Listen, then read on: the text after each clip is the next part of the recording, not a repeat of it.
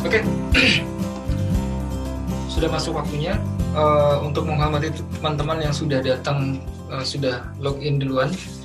Uh, kita mulai uh, sesi ketiga kita uh, kali ini. Uh, sorry, maaf, maaf. Kita akan mulai sesi ketiga kita uh, di hari di malam ini, di mana kita akan membicarakan uh, lanjutan dari topik-topik sebelumnya, di mana malam pertama kita membahas mengenai project fundamental, apa itu project dan project management. Di malam kedua kemarin kita ngomongin produk dan project life cycle. Apa sih bedanya produk dengan project, product management dengan project management seperti apa? Lalu juga uh, bermacam-macam kita juga sudah berkenal dengan bermacam-macam uh, life cycle. Uh, ada uh, prediktif, ada incremental, ada iteratif, dan ada uh, adaptif. Lalu juga kita um, melihat bahwa uh, untuk uh, pemilihan project life cycle itu sesuai dengan konteks permasalahan ataupun uh, isu yang ingin kita uh, pecahkan.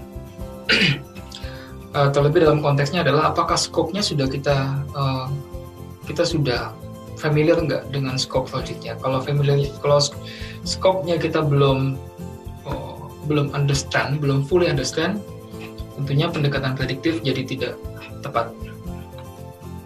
Oke, okay, kita mulai malam ini. Jadi uh, malam ini kita cukup banyak yang akan kita bahas nih teman-teman. Ada pertama kita akan membahas tentang project influence. Lalu kita akan bahas IEF dan OPA.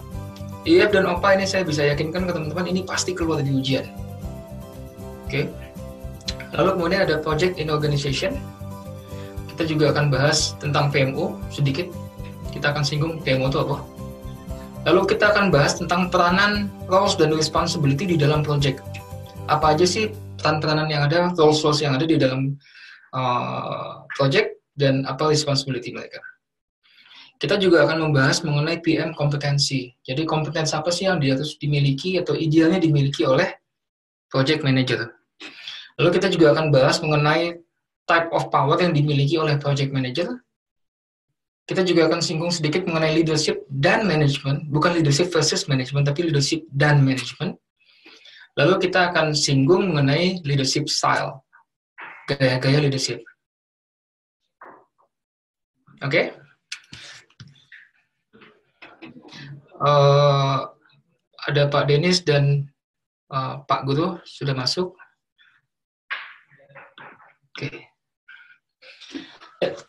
Kita mulai langsung masuk ke topik pertama malam ini mengenai project influence. So basically simpelnya seperti ini sih. Project keberadaan project di dalam organisasi itu pastinya atau bentar, saya ganti dulu.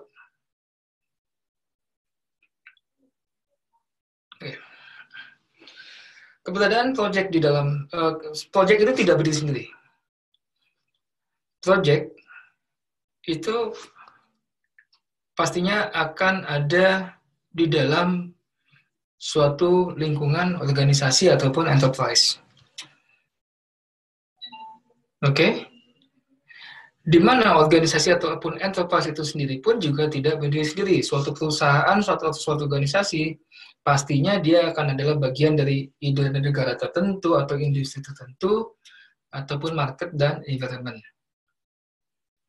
Ini cukup make sense ya.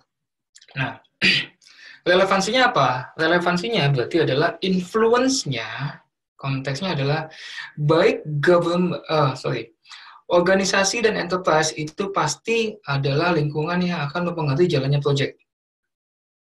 Itu clear. Setiap project pasti akan dipengaruhi oleh tempat di mana organisasinya berdiri. Contohnya misalnya project dari uh, project yang ada di dalam let's say perusahaan Telkom, PT Telkom. Tentunya jalannya project itu dipengaruhi oleh peraturan-peraturan yang ada di dalam Telkom, SOP, ataupun HR policy, ataupun governance policy-nya. Itu suka nggak suka, mau nggak mau pasti mempengaruhi jalannya project. Proses budgetingnya, proses resource management itu akan peraturan-peraturan ataupun policy yang ada di dalam organization dan enterprise pasti akan mempengaruhi jalannya project. Nah, lebih luas lagi, organisasi pun juga berdiri di dalam suatu government ataupun industri. Organisasi atau perusahaan itu dipengaruhi oleh peraturan peraturan negara ataupun peraturan daerah.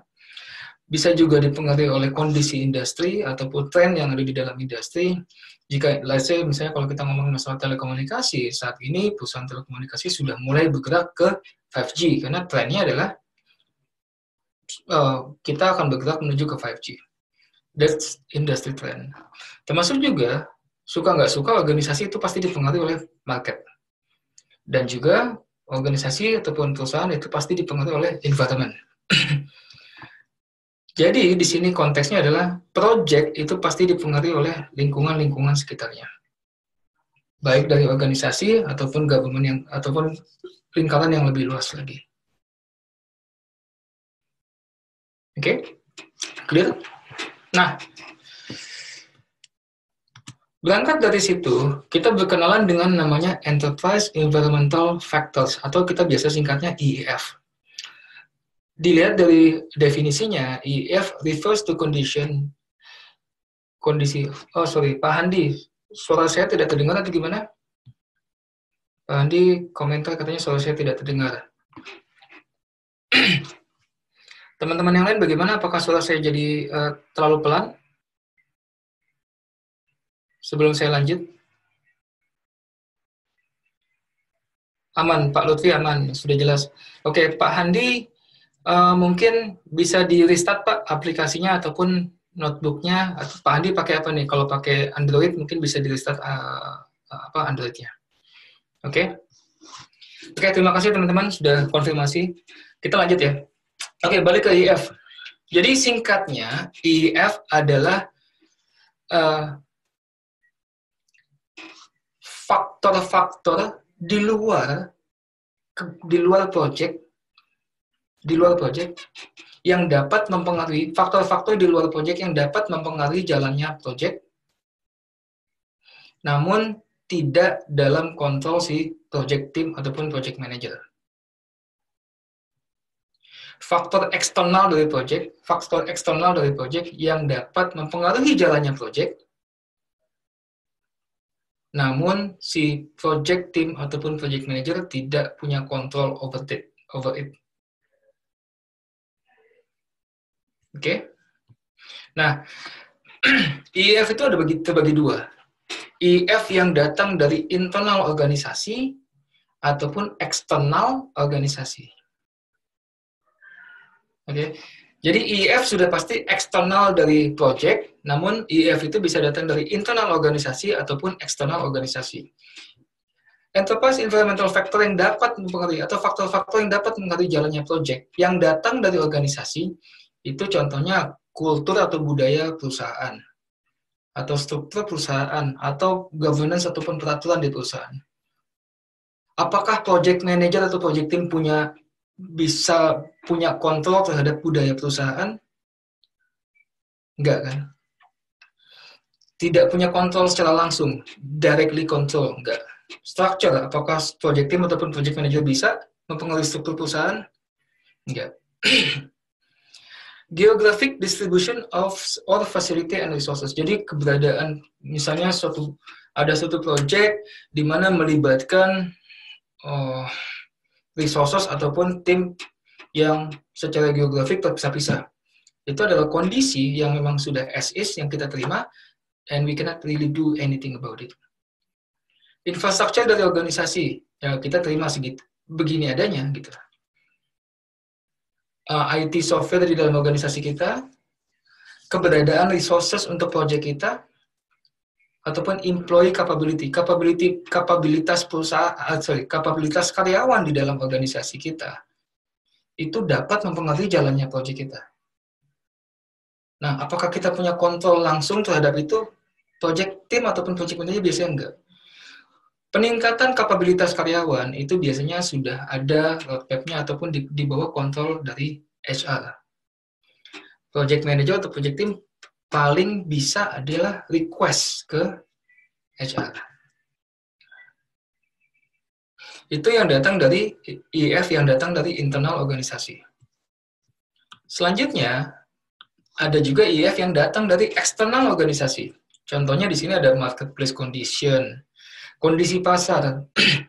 Kalau kondisi pasar sudah menuntut adanya uh, suatu teknologi baru ataupun capability baru yang sedangkan kita belum punya, mau nggak mau pasti kita akan uh, provide. Dan itu akan mempengaruhi jalannya proyek kita. Uh, kondisi pasar, kondisi finansial. Contohnya misalnya dolar naik, social dan cultural influence and issues, isu-isu di sosial, legal restriction.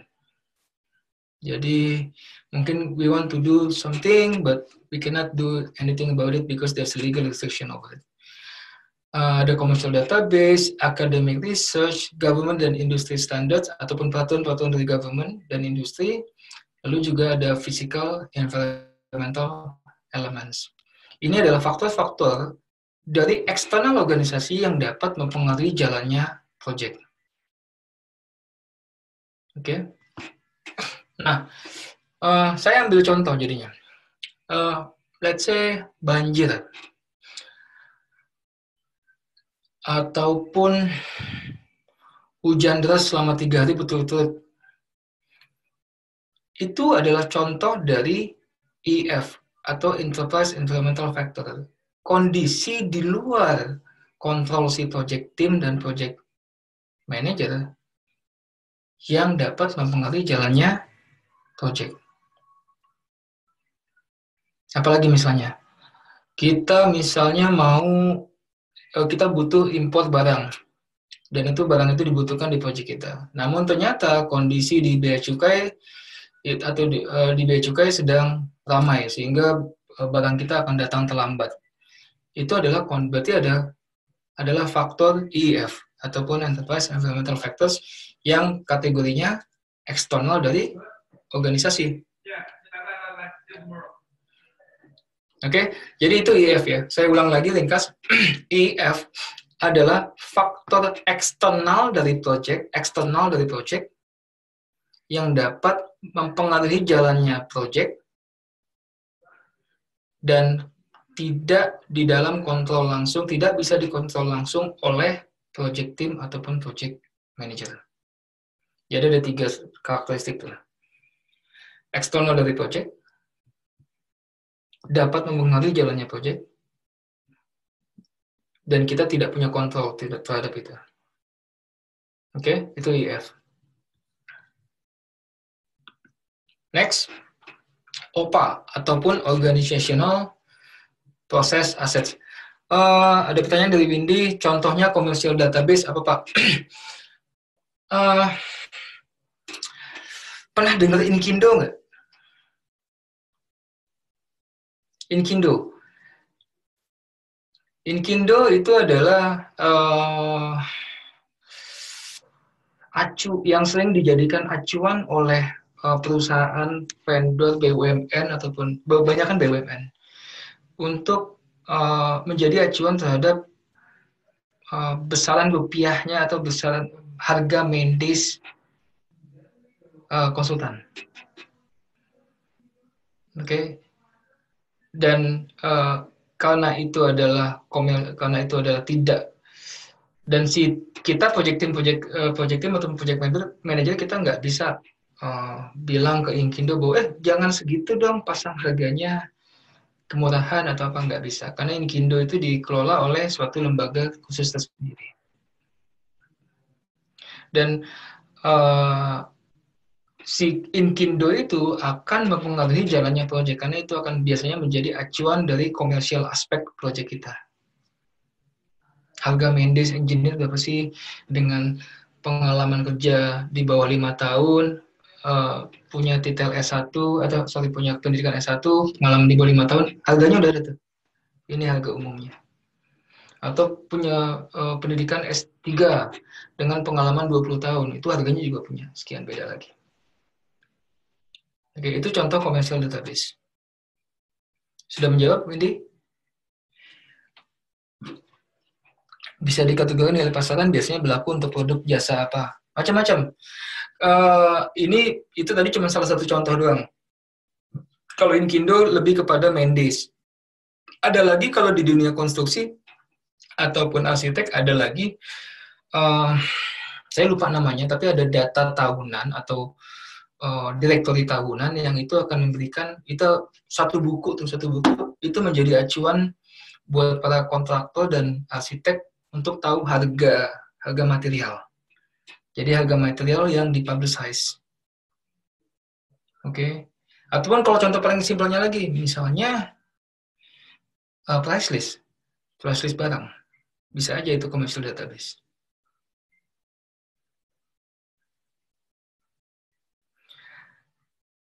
Oke, okay, jadi berlaku untuk produk jasa apa? Berlaku untuk banyak uh, di setiap industri punya punya punya ininya masing-masing, punya commercial database-nya masing-masing. Oke, okay. saya lanjut dulu. Nah, sekarang masuk ke hal kedua. Tadi kan IEF ya. IEF adalah uh, Enterprise Environmental Factor. Saya ulang lagi IEF. Ada tiga ada tiga kategori di sana. Eksternal dari project, dapat mempengaruhi jalannya project dan kita si project manager dan project team tidak punya kontrol over it. Nah, sekarang OPA atau Organizational Process Assets. Organizational Process Assets uh, kalau lihat definisinya adalah plans, process, policies, procedure, knowledge base specific to uh, the performing organization. Uh, uh, uh, yang bisa mempengaruhi jalannya proyek and influence the management of the project. Simpelnya kalau OPA adalah aset yang dimiliki oleh organisasi, dimiliki oleh organisasi, aset yang dimiliki oleh organisasi yang dapat membantu jalannya proyek. Dua, ada dua aspek di sini. Ada dua konteks, dua kategori, ada dua karakteristik sorry, OPA adalah aset-aset yang dimiliki oleh organisasi yang dapat membantu jalannya proyek. Nah, konteks aset di sini bukan konteks aset seperti tools ataupun fasilitas gedung, software dan lain-lain enggak. Uh, yang dimaksud dengan OPA di sini, aset dalam konteks OPA adalah plans, processes, policies, prosedur, dan knowledge base. Jadi kebanyakan contohnya adalah dibagi dua nih, ada processes, policies, dan prosedur, ada lagi adalah organizational knowledge base. Dibagi dua.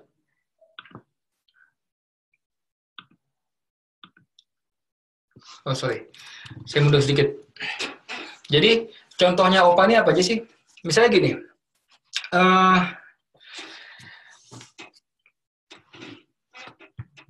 kita sudah pernah menjalankan uh, project atau data on misalnya pernah menjalankan project di satu perusahaan, deliver sunfish di satu perusahaan, uh, let's say Astra, saya pakai lagi Astra sebagai contoh. Oke, okay? nah pada saat pertama kali menjalankan project itu kan ada dokumen-dokumen itu, ada dokumennya, ada reportnya, oke, okay? ada lessons learn-nya, itu semuanya dikompil, dijadikan satu dan di store atau disimpan di dalam tempat yang dapat diakses oleh uh, pihak-pihak uh, berkepentingan nantinya, itu bisa dikonsider sebagai OPA. Karena data-data itu adalah aset bagi perusahaan Anda. Oke. Lalu misalnya Anda pun juga pernah mungkin bikin SOP. SOP untuk pengajuan project budget. Itu seperti apa? Ini step-stepnya untuk ngajuin project budget. Step-stepnya untuk minta pencairan dana. Step-stepnya untuk reporting. Itu prosedur dan policy itu adalah aset bagi organisasi Anda. Dan semuanya itu akan dapat membantu jalannya project.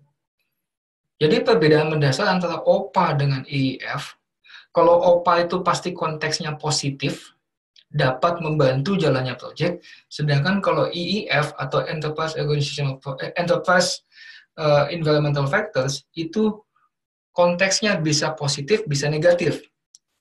Makanya bahasanya adalah dapat mempengaruhi jalannya proyek. Kalau OPA membantu jalannya proyek. Oke, okay? clear ya? Oke, okay. nah sekarang kita masuk ke struktur organisasi atau sistem organisasi. So basically sistem organisasi di dalam uh, tadi kan kita sempat singgung ya bahwa project itu tidak berdiri sendiri. Project itu ada dalam suatu organisasi. Jadi mau nggak mau, project manager dituntut untuk bisa uh, berinteraksi dengan baik dengan organisasi di mana proyek itu berada. Dalam konteks berinteraksi di sini tentunya uh, macam-macam ya, gitu. luas banget definisinya. Nah sekarang definisi dari atau kita lihat sistem organisasi yang dimaksud dengan sistem organisasi adalah uh, di mana itu provide structure dan governance, ada permissions, ada mungkin ada work authorization, yang bisa ada employee disiplin mungkin, dan juga defined by organization management.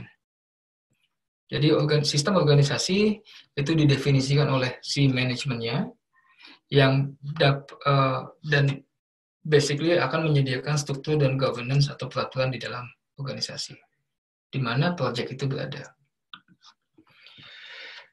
Dinamika di dalam sistem organisasi tentunya juga akan mempengaruhi jalannya proyek. Oke, kembali suka nggak suka, project manager harus bisa mengambil peranan aktif di dalam dinamika sistem organisasi tempat di mana proyek itu berada. Uh, relationship di antara departemen, di antara project, di antara antara manajemen dengan employees, itunya pasti akan akan ada dinamika dinamika dinamika dinamika yang dapat berdampak terhadap project. Di mana juga bisa jadi ada birokrasi ataupun ada politik perpolitikan. Nah, di sini pun juga PM itu nggak bisa eh, nggak bisa alergi, nggak bisa alergi terhadap politik.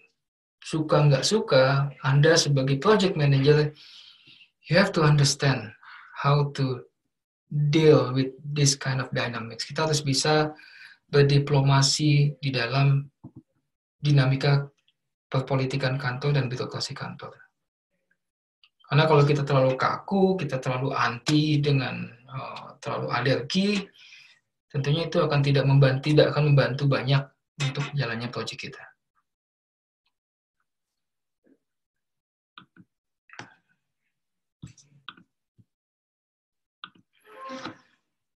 Nah,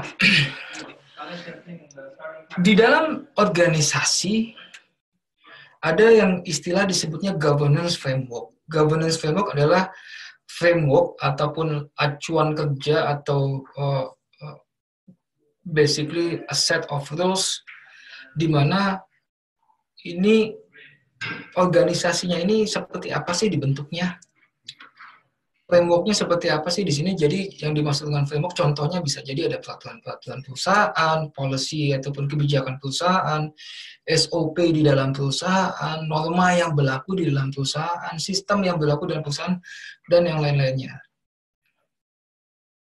Oke? Okay? Governance framework akan mempengaruhi bagaimana objektif dari suatu organisasi itu di set dan achieve, bagaimana risiko itu dimonitor dan di-assess, dan juga how the performance of the organization is optimized. Governance framework ini akan dijalankan oleh elemen-elemen manajemen atau basically ada tadi kan ada peraturan, SOP segala macam. Siapa sih yang akan develop dan menjalankan dan memastikan bahwa itu dijalankan? Manajemen. Oke. Okay. Jadi governance framework itu adalah frameworknya, peraturan-peraturannya, polisi-polisinya. Siapa yang menjalankan? Manajemen. Siapa yang develop? Manajemen. Di mana elemen-elemen manajemen ini saya singkat aja, ini uh, cuman perantu aja. Di mana elemen-elemen dari manajemen adalah key function of principle general management includes ini semua.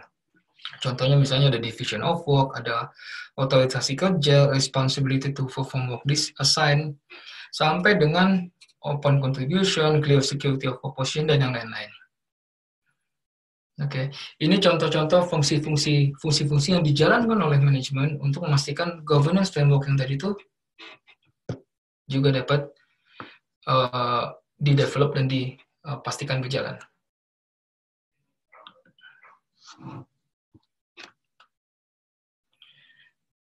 Oke, nah uh, sekarang kita mulai tadi kan ada governance framework-nya, ada manajemennya, sekarang struktur organisasinya. Struktur organisasi dalam suatu perusahaan ataupun suatu organisasi itu pasti dipengaruhi oleh bagaimana organizational objective alignment Ini adalah hal-hal yang dapat mempengaruhi struktur organisasi. Struktur organisasi adalah sesuatu yang uh, didevelop oleh manajemen, uh, di mana itu akan menentukan bagaimana si framework tadi itu dijalankan. Dan untuk memilih struktur mana yang paling pas untuk suatu organisasi, itu kebanyakan itu adalah pekerjaan yang saya tidak pernah uh, tidak pernah finish. Struktur organisasi suatu perusahaan akan sering bergerak atau dinamik uh, struktur organisasi suatu perusahaan itu adalah dinamis, tidak uh, fix. Kalaupun fix, fix hanya untuk beberapa saat tertentu realitanya di lapangan ganti manajemen, ganti struktur. Walaupun penggantian strukturnya tidak terlalu, mungkin tidak terlalu, bisa sangat kecil, minim, atau bisa sangat eh, bisa sangat besar.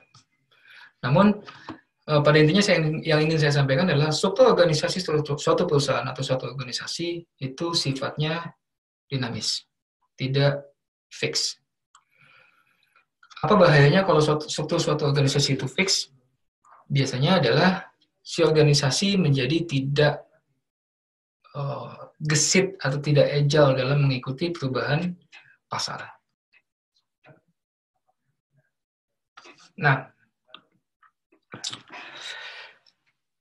menurut di dalam PMBOK versi 6 ini, menurut PMBOK versi 6 ada 10 tipe atau 10 tipe struktur organisasi. Ada 10. Oke, kita akan bahas satu-satu, tapi saya akan fokus ke dalam konteks eh, bagaimana peranan siapa yang menjalankan fungsi peranan project manager, eh, sorry, project management di dalam tipe organisasi seperti ini. Oke. Oke, kita masuk nomor satu, organik atau simple. Struktur perusahaan yang organik atau simple ini biasanya adalah suatu struktur organisasi yang ada di dalam startup ataupun perusahaan yang baru mulai. Di mana hampir bisa dibilang ini semi chaos di mana si uh, belum ada fungsi yang jelas, masing-masing apa setiap orang itu bisa menjalankan multifunction atau multi heads gitu. Pada saat di, di tipe organisasi seperti ini, di tipe organisasi di mana simple atau organik, begitu ada project yang akan menjalankan fungsi project management, itu adalah founder ataupun owner. Okay? Jadi di fungsi eh, di struktur organisasi uh, tipe 1 which is organic atau simple, yang menjalankan fungsi project management adalah founder atau owner. Tipe kedua, ini organisasi yang paling umum yang kita banyak temukan di lapangan. Ini yang by default ini yang menjadi uh, uh, apa namanya tipe organisasi yang paling umum. Di mana fungsional ini berarti adalah adanya departemen-departemen ataupun fungsi-fungsi yang berbeda-beda di dalam satu organisasi. Jadi di bawahnya owner itu bisa ada atau di bawahnya direktur ataupun CEO bisa jadi ada marketing, ada purchasing, ada finance, ada accounting, ada IT dan departemen-departemen lainnya. Operation macam-macam. Oke? Okay? Nah, dan tentunya kan di setiap function tadi punya anak buahnya ya, punya tim-tim yang purchasing punya tim purchasing sendiri, marketing punya tim marketing sendiri, uh, let's say finance punya tim finance sendiri. Oke. Okay. Nah, pada saat ada project di dalam tipe organisasi seperti ini, yang menjalankan fungsi project manajemennya adalah debt head. Dia yang akan menentukan fungsi budgeting, fungsi scheduling itu yang bertanggung jawab adalah debt head. Oke, okay? bisa saja nih, bisa juga konteksnya ada satu project yang melibatkan multi departemen, bisa juga kan ya? Misalnya, let's say ada satu project yang melibatkan departemen marketing dan departemen purchasing, dan sama-sama melibatkan staff dua-duanya. Yang akan menjadi project, yang akan menjalankan fungsi project manajemennya adalah di debt head-nya bisa jadi itu adalah marketing manajernya atau purchasing manajernya. Tapi intinya adalah di functional yang menjalankan fungsi project management adalah dev head. Oke, okay, multidivisional. Multidivisional di sini menurut saya ini adalah salah satu tipe perusahaan, eh, tipe organisasi mirip-mirip dengan functional, tapi ini sudah multi unit bisnis. Jadi bukan departemen tapi unit bisnis. Di mana hampir sama kayak tadi, jika ada project di dalam uh, tipe organisasi multidivisional seperti ini yang akan menjalankan fungsi project manager adalah si kepala unit bisnis. Oke, okay, nomor empat, weak matrix.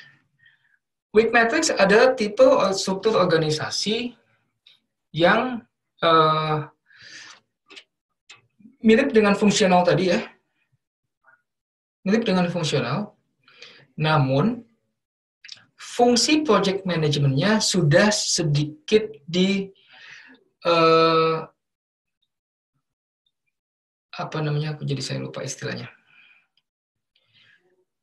uh, ngeblank intinya staffnya yang sudah ditunjuk sebagai project manager jadi sebagian uh, sebagian uh, fungsi project manajemennya sudah dialihkan ke stafnya. Jadi sebagian fungsi project management sudah dialihkan ke staff level, tidak lagi di dev head. Namun, kenapa ini disebut weak? Dikarenakan yang masih memegang otoritas budgeting dan scheduling itu masih dev head.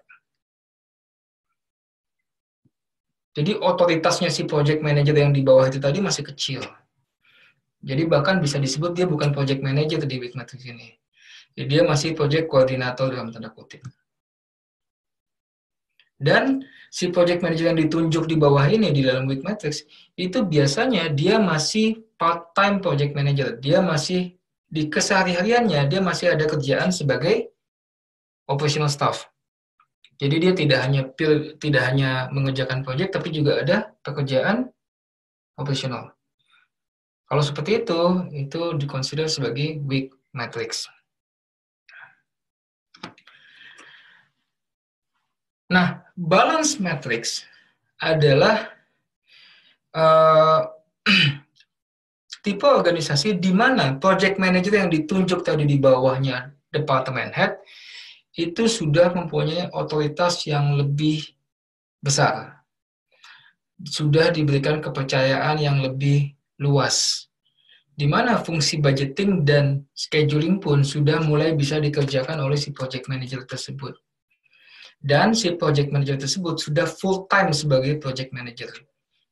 Dia tidak mengerjakan, dia tidak lagi mengerjakan operational staff, operational work atau nyambil-nyambil enggak. Dia sudah full time sebagai project manager. Saya ada stop dulu ada pertanyaan dari Pak Fauzi Malik. Pak, kalau di tipe 2 berarti proyeknya terbatas internal departemen itu aja nggak? Nggak bisa dua departemen kolaborasi ke satu proyek? Bisa, Pak. Fungsional bisa. Tetap bisa kolaborasi. Kalau dia kolaborasi, uh, yang akan menjalankan fungsi project manajemennya tetap di dev head, cuma nanti dev head yang mana nih? Ya. So ini ada contoh org chart-nya nggak ya untuk perbedaan dari masing-masing struktur ini? Uh, sebenarnya ada di slide yang lain uh, nanti saya akan uh, lengkapi di uh, grup nantinya ataupun di downloadan di website. Oke. Okay? Karena sebenarnya di org chartnya ini mulai di PMBOK versi 6 menariknya itu tidak ditampilkan di PMBOK. tapi di PMBOK 5 dimunculkan. Kenapa? Karena sebelumnya di PMBOK 5 itu struktur organisasi cuma 4, tapi di PMBOK 6 itu menjadi 10. Begitu Pak Yohanes? Tapi nanti akan ada contoh untuk fungsional nomor 2, nomor 4, nomor 5, nomor 6, dan nomor 7. 2, 4, 5, 6, 7. Itu ada gambarnya. Oke, bisa menjawab ya Pak Yohanes ya? Oke, jadi kita kembali ke balance matrix. Tadi balance matrix. Jadi untuk menjawab pertanyaan Pak Fauzi juga, fungsional, weak matrix, balance matrix, multidivisional, strong matrix itu bisa saja proyeknya tidak di dalam satu departemen itu, bisa cross departemen. Tidak hanya internal departemen, tapi bisa cross departemen. Ya, perbedaan mendasarnya adalah di siapa yang menjalankan fungsi project management dan bagaimana otoritasnya. Oke, okay? Sekarang saya ulang sedikit. Di balance matrix yang menjalankan fungsi project management tidak lagi deep head, namun sudah di bawahnya deep head, baik itu staff level ataupun supervisor ataupun lah, apa pun namanya, tapi yang jelas bukan lagi deep head. Dan otoritas yang dimiliki oleh si project manager ini sudah luas, sudah cukup besar, karena scheduling dan budgeting sudah di bawah ditangani dia dan juga si orang ini sudah full time sebagai project manager, tidak lagi part time. Oke, okay. lanjut strong matrix. Strong matrix ini yang membedakan adalah uh, si project manager itu sekarang tidak lagi report ke dev head functional. Sekarang sudah ada departemen sendiri, departemen khusus, di mana departemen itu isinya cuma project manager. Jika suatu misalnya marketing departemen mau ada project, dia akan minta project manager ke si departemen khusus itu. Namanya departemen khusus itu apa? Macam-macam. Bisa PM departemen ataupun service delivery department apa pun namanya. Di mana PM PM itu akan report ke either namanya project director ke atau uh, head of project management. Jadi PM itu tidak lagi di bawah functional department tapi di bawah PM department. Kalau IT mau ada project, dia tidak bisa punya PM dari departemennya dia sendiri. Harus minta PM dari departemen PM itu. Benefitnya apa sih kalau kayak gini? Benefitnya standarisasi cara menjalankan project dan reporting dan segala macamnya itu bisa dijamin lebih baik. Bisa di bisa dan project pun juga bisa termanage dengan baik karena pendekatannya itu diatur ataupun di standardize di dalam departemen tersebut. Ada kayak ada center of excellence untuk project. Oke. Okay? Jadi karena PM tidak lagi report ke functional manager, kalau karena PM tidak lagi report ke functional manager, sehingga PM pun juga makin sedikit lebih bebas dari konflik of interest. Di strong matrix, karena PM tidak lagi report ke functional management, functional manager, PM lebih sedikit uh, menjadi lebih leluasa atau bebas dari konflik of interest. Lanjut nomor 7. Nomor 7, project oriented uh, ataupun project ties ini adalah tipe project di mana ini tidak ada fungsional departemen. Tidak ada fungsional departemen. Yang ada dari bawah CEO langsung, di bawah BOD atau CEO atau manajemen, di bawahnya langsung adalah PM, PM, PM, PM, PM. Project manager, project manager, project manager. Nanti project manager pada saat dia butuh resource, dia akan melakukan rekrutmen sendiri. Dia butuh engineer, dia rekrut sendiri. Dia butuh accounting, dia rekrut sendiri. Dia butuh procurement, dia rekrut sendiri. Oke, okay. nanti project yang lain begitu dia butuh accounting, dia nggak bisa minjem ke project eh, ke resource yang ada di project ini. Enggak, dia mesti rekrut sendiri lagi. Jadi di project ties, di project ties itu resources tidak di share. Dia sangat uh, dedicated hanya untuk project itu aja. Oke, okay? itu project ties. Uh, kelebihan mendasar dari project ties tentunya adalah uh, resources lebih dedicated, lebih loyal kepada PM-nya. Nomor tujuh, eh, pertanyaan dari Pak Fauzi. Nomor tujuh, resource-nya kontrak semua, Pak, maksudnya. Nggak ada yang permanen. Nah, ini menariknya.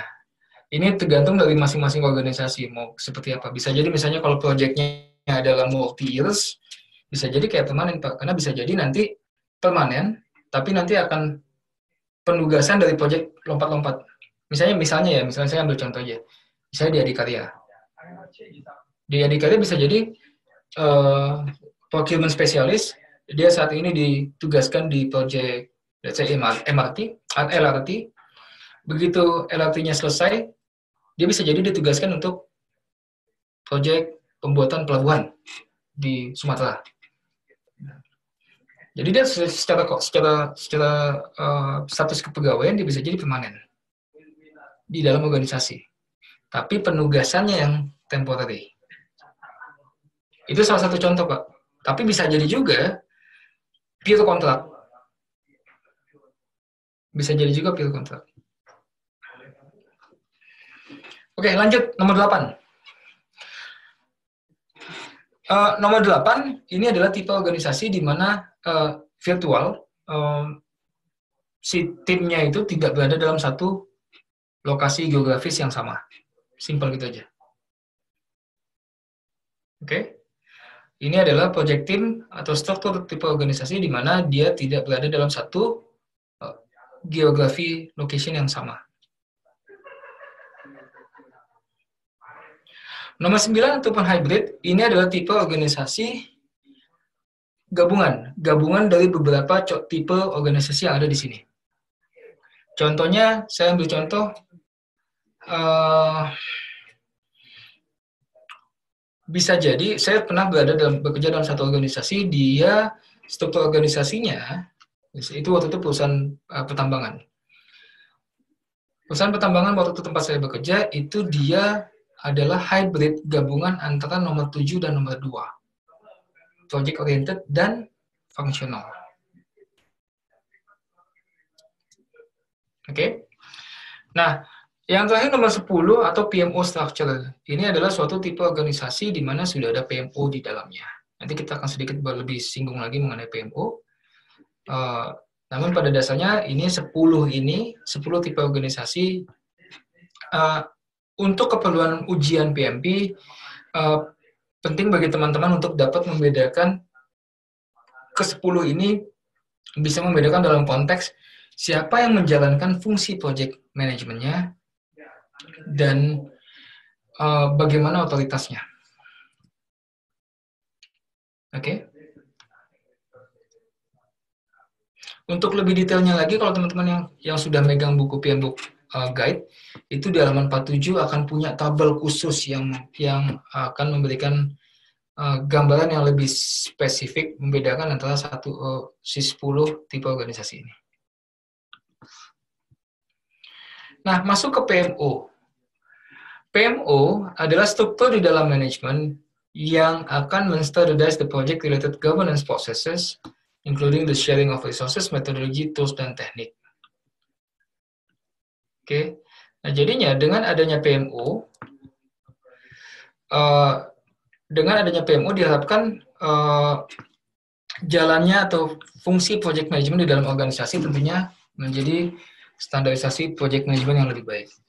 Nah, PMO itu sendiri namanya PMO-nya itu, P-nya itu bisa adalah project atau program ataupun portofolio.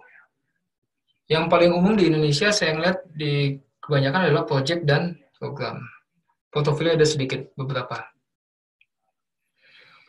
okay. nah uh, fungs sudah namanya bisa beda-beda, lokasinya atau tempatnya dia berada pun bisa beda-beda. Jika dan ini tidak mesti seperti ini ya, tidak mesti bahwa project management office itu harus ada di dalam bawah project, nggak mesti juga. Ini cuman cuman penamaan aja dan dan ini tidak mesti seperti ini. Ini cuma contoh doang. Oke, okay? jadi jangan ini dijadikan acuan. Bisa aja, jadi maksudnya gini, bisa aja di bawah CEO ada PMO yang report directly ke CEO, CEO, tapi namanya bukan portfolio management office, tapi bisa juga program management office ataupun project management office. Oke? Okay? Nah, jika ada PMO di bawah project, biasanya fungsi yang dijalankan adalah lebih ke administrasi si project itu. Karena dia benar-benar support only this project. Jika ada PMO di dalam satu departemen, di mana sini contohnya adalah operation, oke, okay, besar kemungkinan atau bisa biasanya fungsi yang dijalankan oleh PMU ini adalah untuk mensupport proyek-proyek yang ada di dalam departemen ini aja ataupun unit bisnis ini aja. Oke. Okay? Jika PMO-nya di bawah CEO, biasanya yang disupport atau di manage adalah proyek-proyek yang ada di secara seluruh, seluruh organisasi. Namun, yang praktek yang umumnya, yang sering kita temui di lapangan, PMO yang disebutnya strategis PMO atau di bawah CEO directly, dia uh, hanya akan mensupervisi atau mensupport proyek-proyek yang dikonsider sebagai strategis bagi manajemen. Nah, kembali penamaannya mau itu portofolio, mau program, mau proyek itu bebas dalam konteks sesuai dengan kebutuhan si organisasi, termasuk juga posisinya. Nah, salah satu kebingungan yang atau salah satu uh, karakteristik dari PMO yang uh, yang akhirnya menimbulkan banyak kebingungan di lapangan adalah karena karena fungsi dan keberadaan si PMO itu sangat unik, sangat unik sesuai dengan kebutuhan si organisasi tersebut, ini yang menjadikan si para head of PMO ini sendiri pun juga jadi bertanya-tanya, apakah yang mereka jalankan ini sudah benar nggak ya? Sudah sesuai nggak ya dengan yang dibutuhkan organisasi? Dan PMO itu agak susah untuk di benchmark, karena kembali, PMO itu akan sangat tergantung dari kultur dan kebutuhan manajemen, dan juga kultur dari si organisasinya sendiri. Jadi bahkan kalau dalam satu industri pun juga belum tentu bisa sama PMO-nya. Saya ambil contoh misalnya jadi ini teman-teman ada uh, kita kebetulan ada teman-teman dari PMO Smartfriend. PMO Smartfriend dengan PMO-nya XL dengan PMO-nya Telkom yang notabene adalah tiga perusahaan yang sama-sama berada di dalam satu industri, industri komunikasi. Namun fungsi yang dijalankan oleh masing-masing PMO ini sangat berbeda yang smartphone seperti ini, yang XL seperti ini, yang Telkom seperti ini. Beda-beda. Yang benar yang mana? Yang benar yang sesuai dengan kebutuhan organisasinya. Itu menurut kami. Nah, uh, di dalam PMBOK,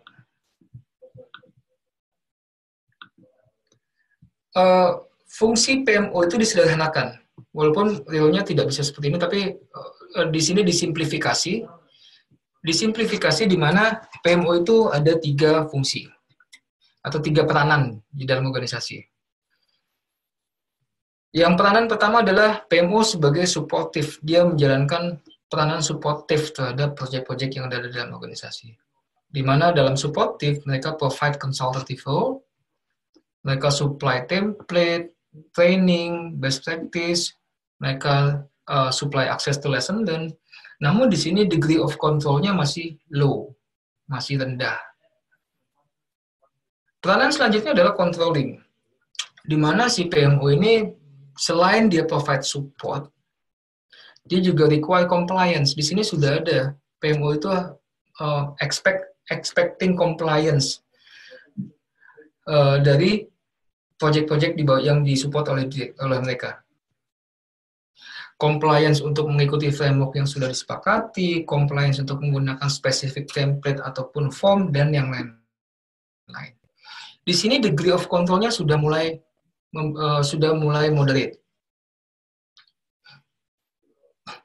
Yang terakhir ada peranan direktif. Di sini selain supportive dan controlling, bahkan ini beberapa langkah selanjutnya adalah proyeknya itu dikontrol langsung oleh si PMO.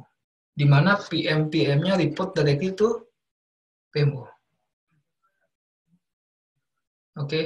bahkan di beberapa organisasi budgetnya itu pun sampai ditarik ke PMO juga. Sampai budgetnya pun juga ditarik ke PMO. Di sini bahkan beberapa PMO dengan dengan peranan detektif itu si PMO-nya saking kuatnya atau saking powerfulnya di mana mereka sudah bisa menentukan apakah proyek ini kita lanjut atau enggak. So basically they have the capability to kill a project if they have to, if they think it's the right thing to do. They will be able to kill the project. Jadi makanya di sini degree of control is high.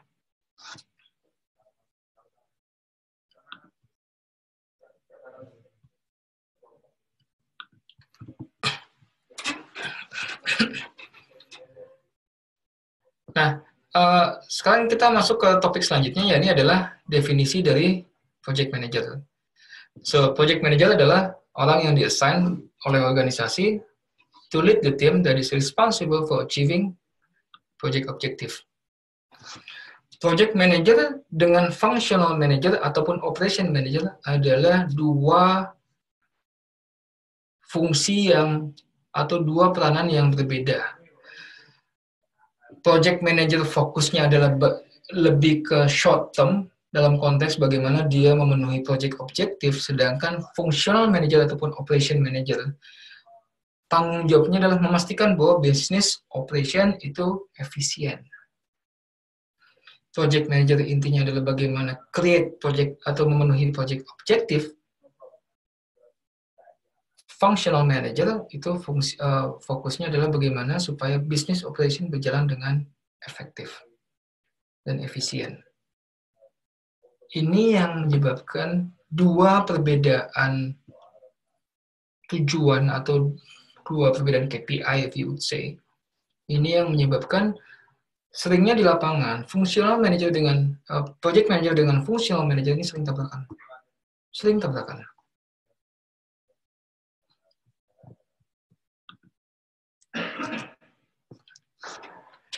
Nah, jadi peranan dan responsibility dari project manager adalah mereka responsible atau bertanggung jawab terhadap mengelola project to meet the project objective. Uh, mereka juga bertanggung jawab, PM bertanggung jawab untuk mendefine dan manage project scope, develop dan manage project schedule, develop and manage project budget,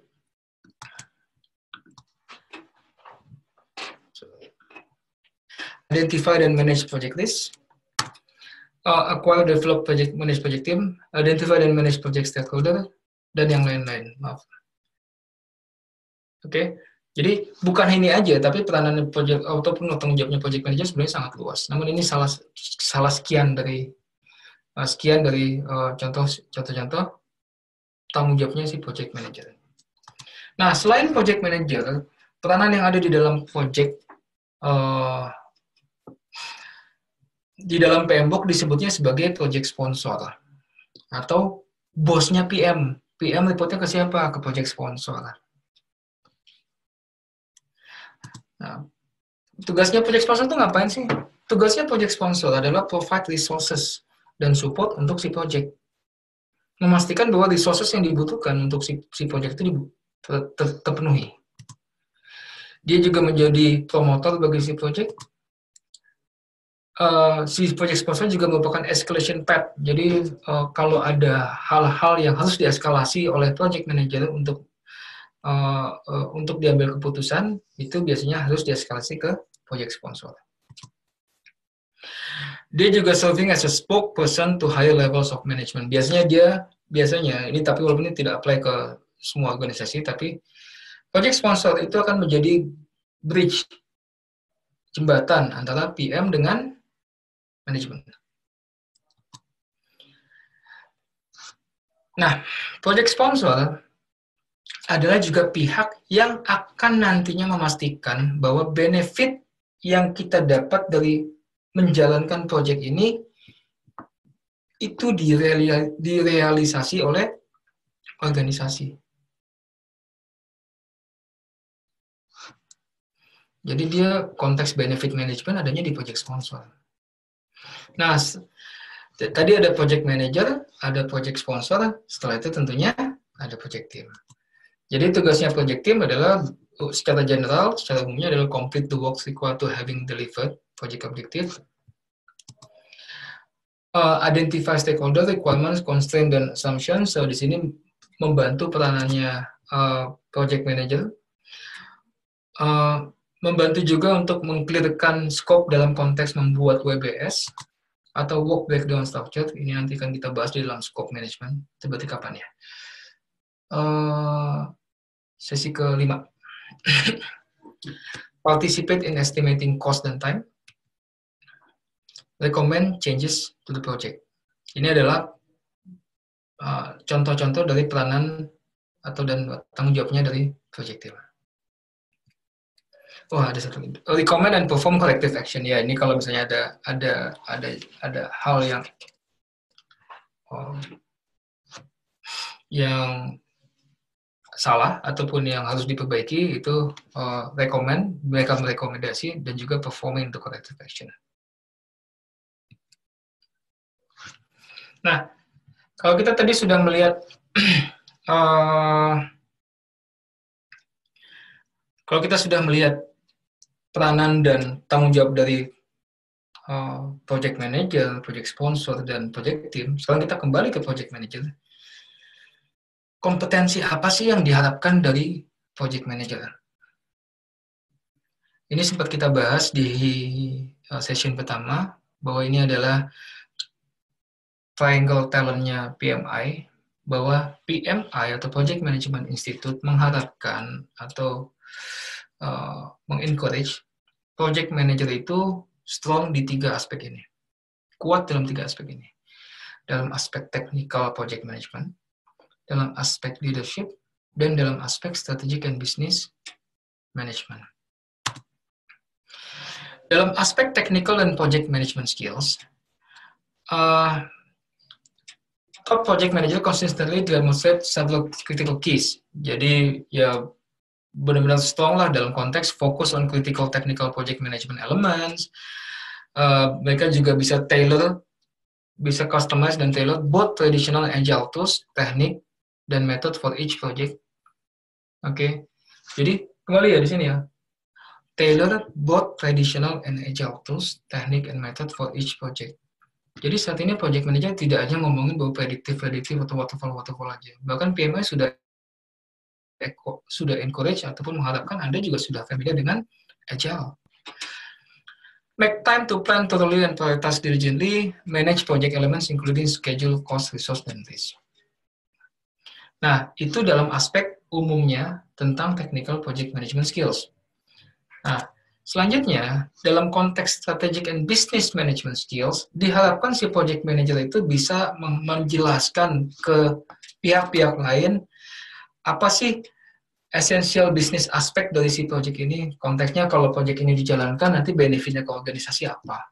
Kalau tidak dijalankan, kalau ini tidak berhasil, nanti organisasi dampaknya seperti apa dengan dengan si dengan si project manager bisa menjelaskan hal tersebut ke pihak-pihak lain tentunya ini akan memudahkan uh, project manager mengkomunikasikan resources resources ataupun uh, uh, support yang dibutuhkan terhadap project. Uh, yang lainnya adalah work with project sponsor team and subject matter expert to develop an appropriate project delivery strategy implement the delivery strategy in a way that maximize the business value of the project. Jadi konteksnya di sini dengan si project manager memiliki strategic and business management skills yang baik, tentunya si project manager bisa melihat scope yang lebih luas, bukan hanya ke dalam konteks projectnya dia aja, tapi juga dilihat impact-nya terhadap organisasi lebih luasnya. Nah, dalam konteks leadership skill, uh, di sini adalah quality dan skill of leader include but are not limited to. Uh, di sini banyak nih ada menjadi visionary, kolaboratif, uh, managing relationship dan konflik, communication, being respectful, culturally sensitive, ini juga menarik ya, culturally sensitive. Apalagi bila kita di project kita itu melibatkan uh, orang-orang ataupun pihak-pihak yang datang dari uh, geografi yang berbeda-beda atau negara yang beda-beda. Itu tentunya kulturnya juga beda-beda. Oke, okay? jadi uh, kembali ada tiga aspek atau tiga kompetensi yang diharapkan dari si project manager, yang ini adalah technical project management skill, strategic and manage business management skill, lalu adalah leadership skill. Kita akan bahas mengenai leadership uh, dalam beberapa slide lebih detail ke depannya. Nah, di sini ada five step of competence. Ini sedikit bajai, sedikit sedikit uh, apa namanya sedikit uh, kita off bukan opsi masih konteksnya masih sama-sama kompetens cuman uh, ini adalah menjelaskan lima step of competence dimulai dari yang pertama adalah unconscious incompetence. Untuk sebagai contoh untuk menjelaskan five step of competence biasanya saya mengambil contoh uh, nyetir mobil. Mungkin kalau teman-teman bisa coba ingat lagi kapan terakhir kali nyetir mobil atau nyetir motor deh bawa motor atau nyetir mobil kapan Oh, coba teman-teman ingat beberapa belasan atau puluh tahun yang lalu pada saat Anda belum pernah bawa mobil. Anda cuma melihat ya, orang lain bawa mobil dan menurut Anda bisa jadi Anda saat itu ah apa susahnya sih bawa mobil gampang tuh tinggal gitu doang tinggal gini gini doang terus saya jalan. Oke. Okay?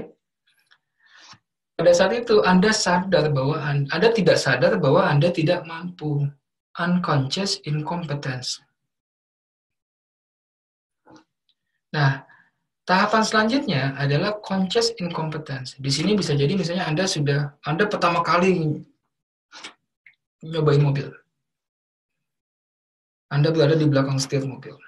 Anda diminta untuk jalan. Dan mobilnya, let's say kita pakainya mobil yang manual, bukan otomatis. Baru jalan sebentar, pek, mati. Jalan sebentar, mati nggak biasa belum biasa pakai kopling. Disuruh mau belok kanan takut takut beloknya. Belok kiri takut takut. Apalagi parkir mundur lebih takut lagi. Di situ di hari pertama belajar belajar make anda berada di belakang berada di belakang setir mobil anda sadar bahwa ternyata susah ya. Itu conscious incompetence. Step ketiga di sini adalah conscious competence jadi kembali ke contoh mobil tadi, Anda sudah belajar mobil, sudah lumayan lah, sudah bisa sudah bisa bawa mobil ke jalanan, sudah biasa, udah bahkan sudah bisa sendiri. Oke. Okay? Namun kalau teman-teman ingat, pasti pernah ingat ada beberapa tahapan atau beberapa saat di mana, oke okay, kita ada di masuk pertigaan, kita membelok kanan itu di kepala kita tuh pikir oke okay, belok kanan berarti saya harus gimana dulu? Send dulu ini dulu. Jadi belum di alam bawah sadar masih semuanya masih sadar masih apa namanya uh, benar-benar sadar banget atau benar-benar kita tuh uh, masih kaku lah nyetirnya gitu. Itu conscious competence. Nah Along the way, setelah beberapa bulan nyetir sendiri, lama-lama sudah mulai kenal badannya mobil, sudah mulai kenal, sudah mulai biasa uh, berhadapan dengan traffic ataupun berhadapan dengan motor, itu belok kanan atau belok kiri atau itu udah nggak pakai mikir lagi, udah jalan sendiri aja otomatis.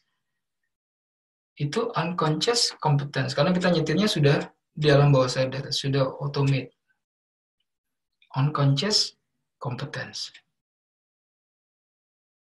dari sini kita punya dua pilihan di step 5. Apakah kita akan continuous improvement atau complacency? Complacency. Complacency artinya adalah yaudah kita puas, udah cukup. Kalau untuk konteks nyetir bisa jadi oke, okay, saya udah nggak perlu belajar lagi. Sekarang yang yang dengan skill yang kompetensi yang saya miliki saat ini, ini udah cukup untuk membawa saya uh, apa namanya nyetir untuk kebutuhan sehari-hari atau mau continuous improvement. Continuous improvement dalam konteks nyetir bisa jadi, wah Anda tertarik untuk belajar extreme driving misalnya. Atau safety driving. Itu ada tuh kelas-kelas khusus untuk itu, extreme driving ataupun safety driving. Oke? Okay? Jadi dari awal tadi unconscious incompetence, conscious incompetence, uh, conscious competence, unconscious competence, lalu kita punya dua pilihan, apakah kita berpuas diri atau kita continuous improvement. Pada saat kita ngomong continuous improvement, pada dasarnya kita akan kembali ke awal lagi. Ke, uh, mungkin mungkin tidak ke awal, tapi mungkin bisa jadi di awal. Bahwa pada saat kita sudah belajar nyetir, ngeliatin extreme driving, ah, apa sih susahnya? Nggak nggak susah kayak gini. Belum nyoba. Begitu nyoba eh, ternyata susah ya. So berarti dari unconscious incompetence baru naik ke unconscious incompetence. Oke? Okay? nah dari situ kita masuk ke topik selanjutnya adalah tipe power type of power. Ini adalah type of power yang dimiliki oleh PM ada beberapa power yang bisa di, uh, digunakan oleh PM. Ini ada beberapa contoh, tapi tidak terbatas kepada yang pertama adalah posisional. Posisional adalah tipe power yang dimiliki oleh PM dikarenakan memang posisinya secara formil itu tinggi di dalam perusahaan. Ini tergantung konteks masing-masing beda organisasi ya. Ada beberapa organisasi posisi PM itu tinggi, ada beberapa yang masih cukup menengah. Oke, okay? so posisional itu masih uh, artinya posisional adalah tipe power yang dimiliki oleh CPM dikarenakan posisinya di dalam organisasi secara formal. Nomor dua, informational. Ini adalah tipe power yang dimiliki pada saat suatu orang memiliki informasi yang needed atau wanted. Ini bisa jadi informasi, bisa jadi knowledge.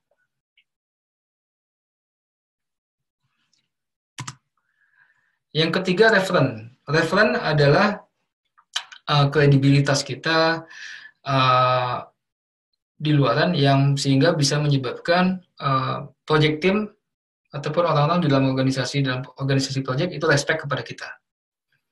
Jadi bisa jadi Anda kebetulan namanya bagus nih di dalam di luaran sana bahwa oh ini si Bapak A ini hmm, berintegritas misalnya dan sukses menjalankan proyek selama ini itu sehingga mendatangkan respect dan uh, admiration.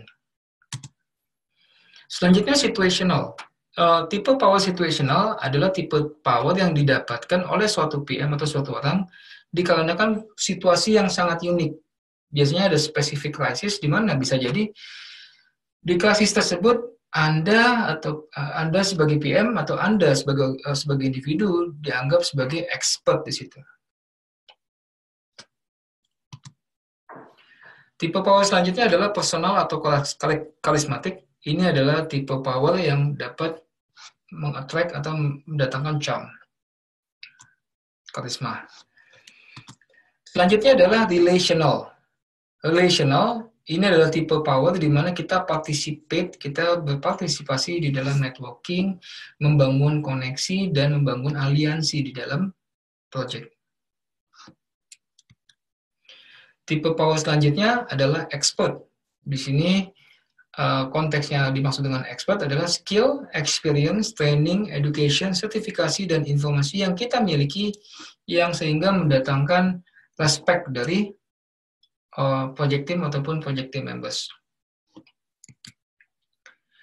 Reward oriented adalah tipe power yang dimiliki oleh PM dikarenakan mereka memiliki secara formil memiliki kemampuan untuk memberikan reward, memberikan praise, monetary atau basically ngasih bonus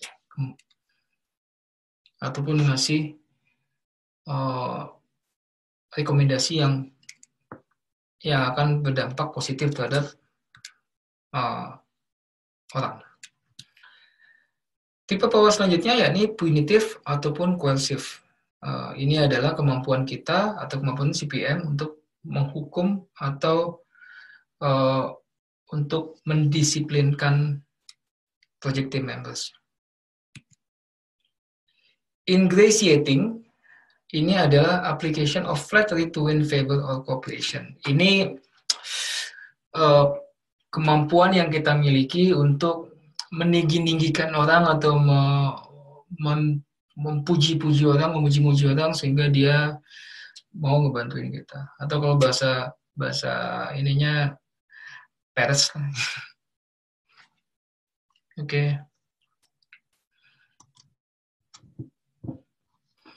Lanjutnya tipe power selanjutnya adalah pressure base, di mana ini kita dapat menggunakan tipe power ini pada saat kita gain compliance by limit choice ataupun movement, di mana uh, kita memberikan tekanan jadinya ke project member kita.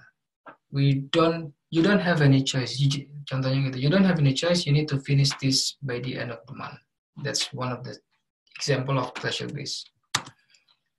Guilt based. Nah, kalau tadi pressure based ini adalah guilt based. Guilt based ini imposition of obligations or sense of duty.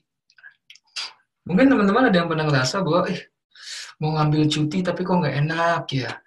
Mau kalau ngambil cuti kok rasanya kayak bersalah gitu. Ya, mungkin Anda sedang di dikenakan uh, apa namanya Anda sedang menjadi korban dari guilt based type of power. Selanjutnya persuasif. Ini adalah ability Anda sebagai PF untuk provide argumen. Yang terakhir adalah avoiding. Ada atau kemampuan Anda, ability Anda sebagai PM untuk refusing to participate. Bisa jadi Anda avoid. Oke. Okay? Nah, dengan kita memahami ada sekian banyak tipe power, ini diharapkan dari sini teman-teman bisa lihat bahwa oh ternyata banyak ya uh, tipe power dan strategi yang kita bisa gunakan untuk berbagai macam uh, situasi yang ada di dalam project. Dan diperlukan uh, discretionary dari kita untuk untuk menggunakan mana tipe yang power ataupun strategi yang pas untuk kita gunakan saat ini. Nah, sekarang kita ngomongin masalah leadership dan manajemen. Leadership adalah getting the team from one point to another, direct them using a known set of expected behavior. Itu adalah definisi dari leadership. Sedangkan definisi dari manajemen, oh sorry, saya maaf, ini saya ada kebalik nih. Ada kebalik. Uh, mohon teman-teman di ini. Bentar saya ganti dulu lah. Bentar ya, maaf.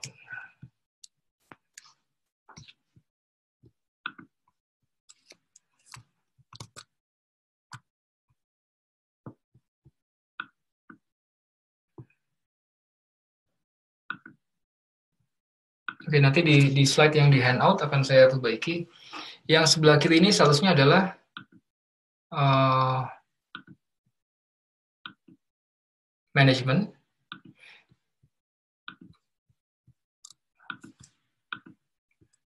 Sebentar ya.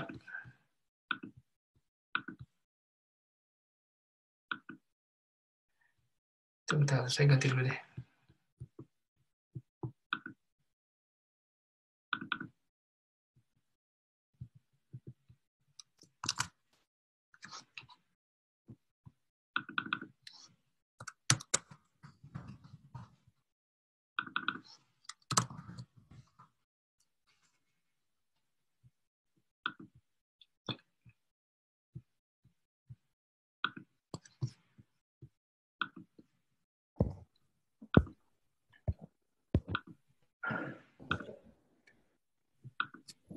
Oke, kembali lagi.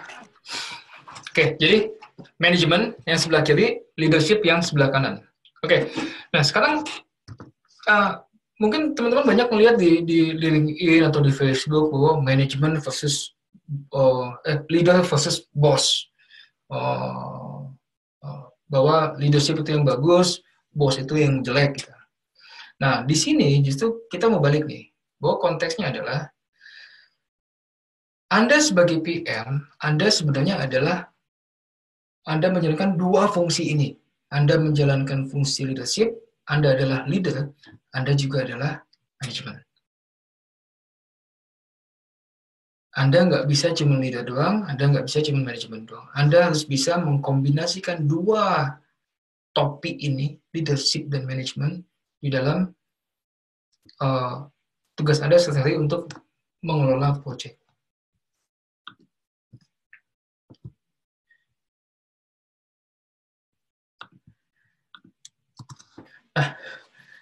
Kalau manajemen menggunakan positional power, leadership itu menggunakan relational power. Kalau teman-teman ingat yang eh, slide beberapa slide sebelumnya, positional power adalah tipe power yang didapatkan dikarenakan Anda sebagai PM memang punya apa? punya posisi formal dalam organisasi yang cukup tinggi. Sedangkan relational power adalah tipe power yang dimiliki dikarenakan Anda uh, menjalankan partisipasi, berpartisipasi dalam networking, uh, menjalankan, membangun relationship di dalam project dengan tim member Anda, membangun aliansi yang sehat. That's relational power. Oke? Okay? Manajemen lebih ke maintain, leadership lebih ke develop. Maintain di sini apa? Maintain performance. Kalau performance-nya performance team member sudah bagus ya di maintain. Kalau performance timnya belum bagus ya di develop supaya menjadi bagus. Untuk developing team performance itu lebih tepat menggunakan pendekatan leadership.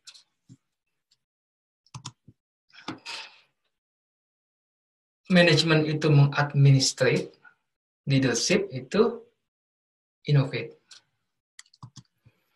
Management fokus on short-term goals dan bottom line. Leader adalah fokus ke long range vision and the horizon. Bisa nggak kita fokus hanya ke long term, long range dulu? Kalau kita terlalu fokus ke depan, jangan-jangan Anda nggak bisa gaji tim member Anda saat ini. Kalau Anda Anda hanya fokus ke short term goals aja dan tidak punya long range vision, perusahaan atau project Anda ataupun perusahaan Anda atau organisasi Anda ya nggak ke mana-mana. Ya akan berkembang makin jauh. So we need to balance. Kita harus balance.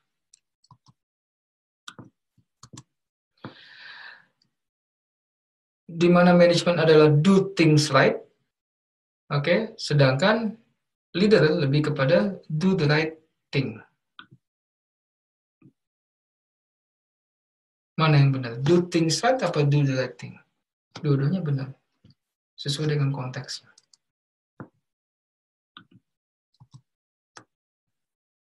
Nah, kita akan berkenalan dengan beberapa tipe leadership style, style leadership uh, yang uh, apa namanya, yang ada dalam ujian PMP ini, yang bisa keluar dalam ujian PMP. Yang pertama adalah laissez-faire. Laissez-faire atau tipe ini adalah tipe leader di mana dia allow the team members to make their own decision, their own calls. Dan uh, ini also known as a taking hands off style.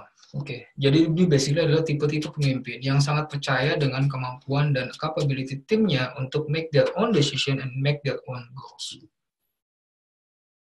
okay. apakah ini bagus? Bisa ya, bisa enggak. Tergantung konteks organisasi Anda, tergantung konteks kompetensi dan capability tim members Anda menurut saya kalau kompetensi dan tim members kompetensi dan capability tim member Anda expert sangat mature dan saat ini project sedang dalam kondisi yang tidak krisis by all means menurut saya silakan gunakan laissez-faire Nah, kebalikan dari laissez-faire adalah transactional. di mana di sini adalah fokus on goals, feedback, dan accomplishment to determine rewards, also known as management by exception. Ini tendensinya ke micromanage. Jadi kalau menurut saya ini dua ekstrim berbeda. Uh, transactional itu lebih ke micromanage, business well lebih santai aja. Micromanage ini akan sangat sangat memonitor performance dari timnya, dia akan closely manage, micromanage bahkan bukan lagi closely manage, tapi micromanage. Every output of the yang dihasilkan oleh project member akan dicek dia. Oke? Apakah ini jelek? Belum tentu. Belum tentu. Micromanage belum tentu jelek. Jika tim member Anda saat ini tidak capability dan kompetensinya belum mature, dan project saat ini sedang krisis, ada baiknya Anda melakukan micromanage atau transactional approach. Nanti begitu sudah tidak krisis, Anda mungkin bisa lebih santai.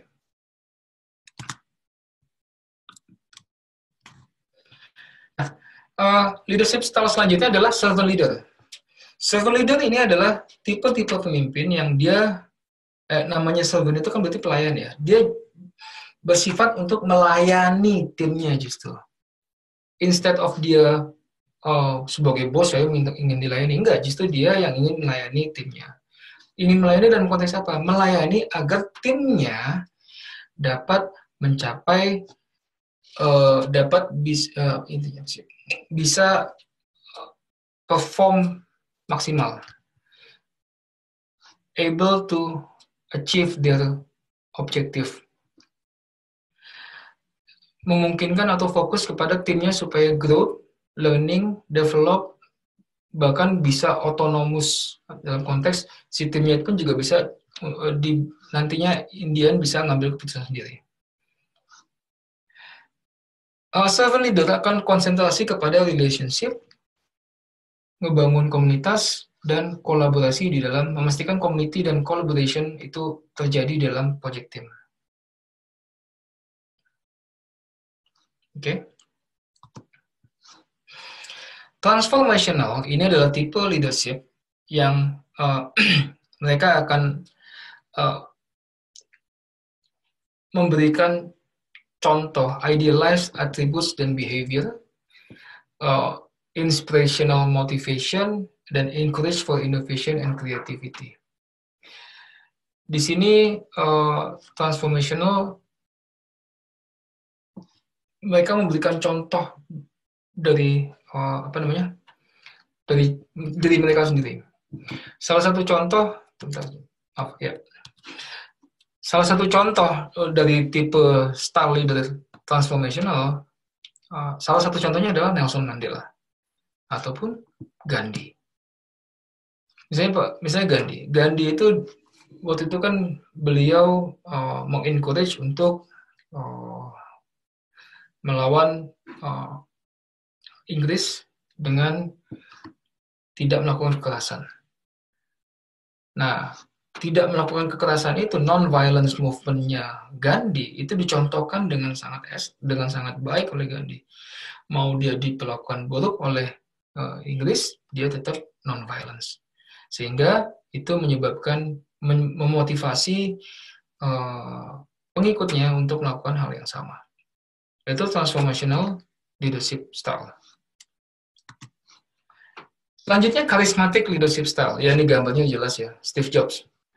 Able to inspire, high energy, enthusiastic, antusias, self-confidence, dan hold strong conviction. Wah, sangat yakin. Ini contohnya tipe-tipe uh, contoh paling klasik menurut saya adalah Steve Jobs. Steve Jobs. Ya. Nah, yang terakhir ada tipe leadership interactional. Tipe leadership interactional ini adalah tipe yang merupakan kombinasi dari transaksional, transformasional, lalu karismatik. Jadi ini gabungan tadi transaksional, transformational, dan karismatik.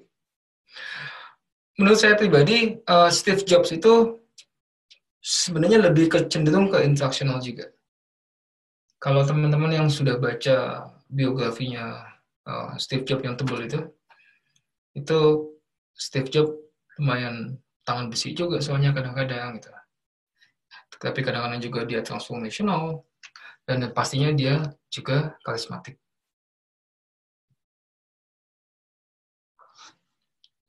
Oke. Okay?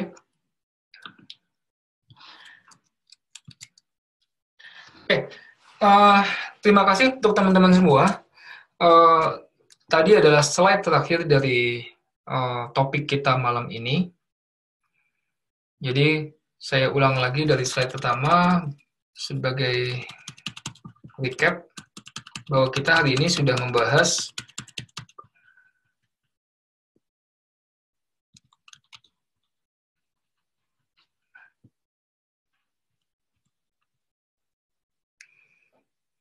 kita sudah membahas project influence, kita juga sudah membahas enterprise environmental factors dan Organizational Process Asset ataupun OPA. Kita juga membahas project dari dalam organisasi, relevansinya apa. Uh, kita juga sudah membahas singkat mengenai PMO. Untuk PMO memang tidak terlalu banyak dibahas di dalam ujian PMP ini. Roles dan responsibility juga sudah kita bahas untuk project manager, project sponsor, dan project team.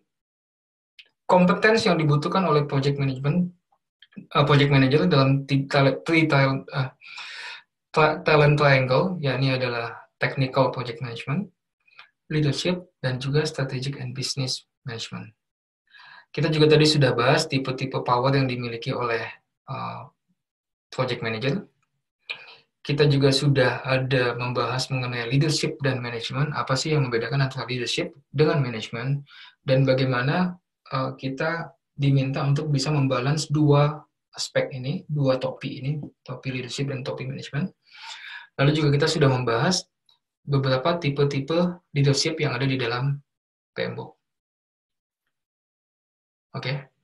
Nah, untuk konteks mana yang akan keluar dalam ujian PMP, hampir semua ini kemungkinan besar akan keluar dalam ujian PMP dalam bentuk soal-soal cerita.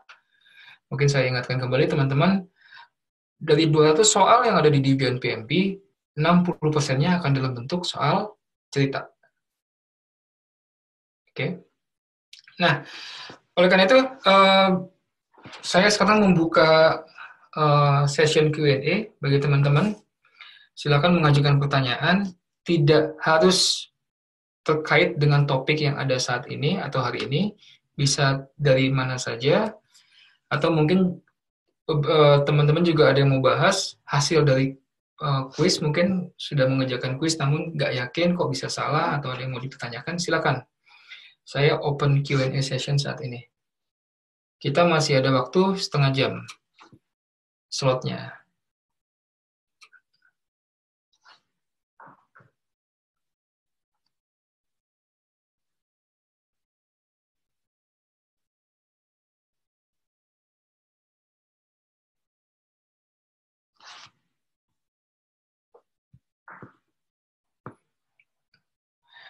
Atau teman-teman ada yang mau buka, ada yang mau bertanya langsung uh, apa namanya? Uh, saya bisa bukakan voice-nya, jadi bisa ngobrol langsung. Oke. Okay. Kalau ada yang mau buka voice, silakan ini ya, silakan acung jari, nanti saya bukakan voice-nya. Uh, dari Windy, dari saya cukup tinggal review ulang materi. Oke, okay. uh, eh, dikarenakan ini video bisa diulang-ulang, silakan diulang-ulang terus ya, uh, kalau dibutuhkan. Dari Pak Andi, apakah ujian PMP boleh open book? Enggak, Pak. Close book.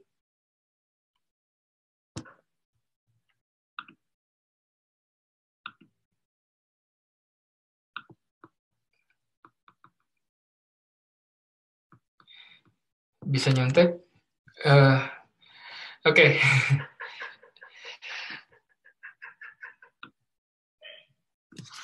ujiannya 4 jam, dan selama 4 jam 4 jam itu akan ada CCTV yang merekam Anda sepanjang 4 jam itu. Itu satu. Kedua, pada saat Anda mau masuk ke lokasi ujian, itu akan ada body check. Body check, Anda akan di akan dicek semua kantongnya mesti dikosongin, kaos kaki dibuka, oke? Okay? Dan semua barang bawaan Anda itu diminta ditaruh di dalam locker. Nggak boleh dan dibawa sama sekali apa pun, nggak ada. Sampai pensil, pulpen pun juga Anda nggak boleh bawa. Nanti akan dikasih pensil sama mereka. Kalkulator nggak boleh. Ujiannya tulis tangan enggak, ujiannya computer base. Computer base 200 soal multiple choice A B C D. Pilih satu jawaban.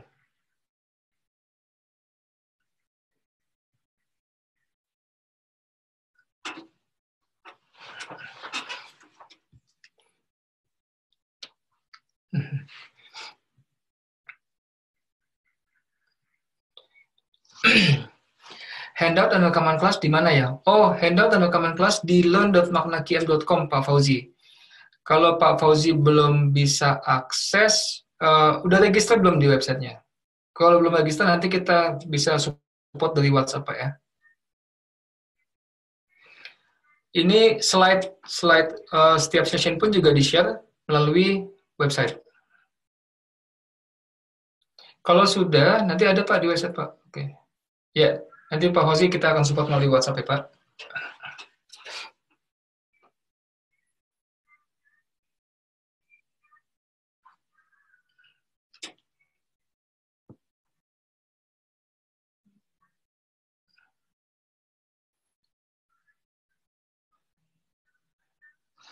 Ini di rumah teman-teman ada yang masih mati lampu lagi nggak nih?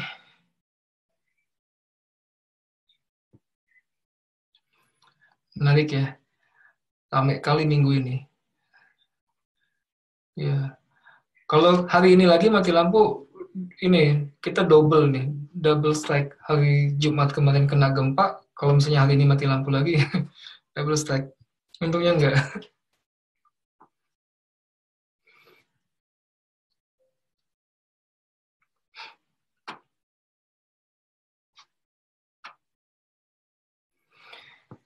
Oke. Okay. Uh, eh, oh ini ada Pak Albert. Pak, kalau ujian cukup dengan materi dari Bapak atau mesti download PMBOK untuk dipelajari? Kalau persiapan ujian, Pak, itu nggak pernah, uh, apa namanya, saya tidak menyarankan Bapak hanya berdasarkan dari satu source aja. Terus terang saya tidak menyarankan. Minimal, selain dari materi saya, dari materi makna QM, Bapak bisa download beberapa buku nantinya. Di sesi besok, di sesi 4 atau 5, nanti saya akan coba selipkan juga beberapa buku yang saya rekomendasi. Oke, okay? nanti eh, teman-teman uh, bisa coba cari buku tersebut, uh, dan itu uh, bisa dijadikan uh, companion ataupun additional material untuk belajar.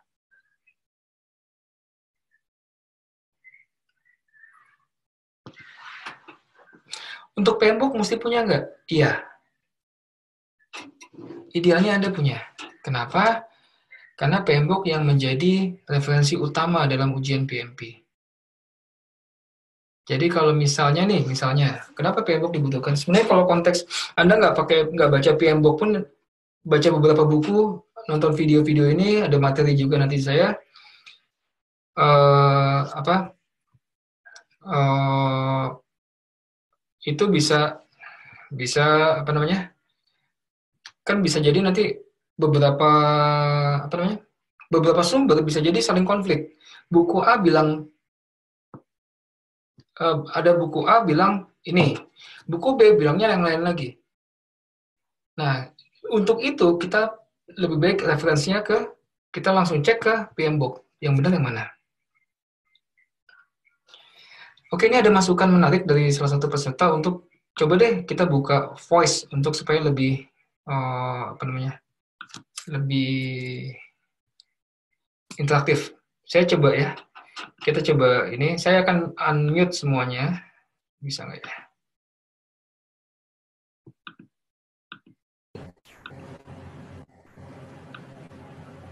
Oh, unmute, unmute. Oke, ini sudah di unmute semuanya untuk voice-nya.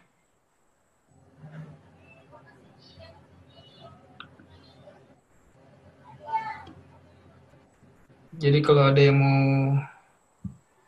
uh, bertanya bisa juga bisa berbicara.